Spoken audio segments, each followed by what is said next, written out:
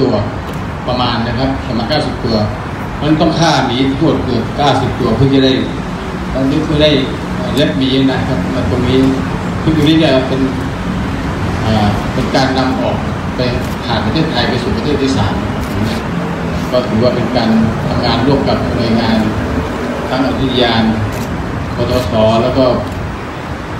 ผู้ที่เกี่ยวข้องทั้งฝ่ายทหารฝ่ายปกครองครับ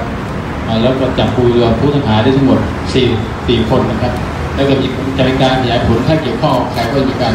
นำเอาพรบฟอกเงินมาใช้ในการยึดทรัพย์ให้เกิดผลอย่างจริงจังนะครับที่น้องทำอะไรอะ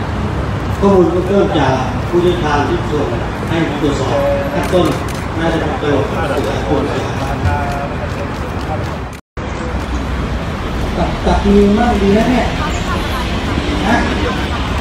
ที่ทำพวกเครื่องประดับไงเขาเอ๋อะไรที่เขามีความเชื่อว่าอย่างไรที่ที่ทราบเหมือนกันเชื่อว่าเชื่อว่าเท้าหมีเอาไปทำอาหารเป็นยาดกที่ความเชื่อของคนตรงนี้แต่ถ้าเล็บเนี่ยเล็บก็อาจจะไปทำเครื่องประดับของขวัญมีเครื่องประดับนะครับตรงนี้าหมดอะถ้าไม่มีหลักฐานนะครับก็ขอ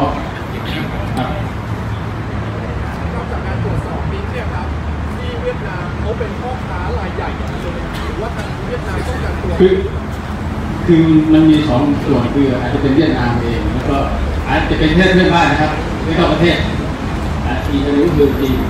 นะเพราะฉะนั้นตรงนี้อาจจะเป็นแหล่งสุดท้ายสองระหว่างสองประเทศนะแต่ไทยคือเป็นชาติผ่านกว่าที่กว่าเมตรครับแล้วก็ได้มีแขนงของตัวนะครับคือยาวเป็นขาประกอบ เป็นหมู่บ้านพรางป่านะครับที่เข้าไปเอ่อ ยิงกวางเสียชีวิตนะครับเราพบซากกวางตายนะครับที่เดียวแล้วก็หมู่ป่าใช่ข่าวดังๆป่ะไม่ใช่อันนี้มายังอยู่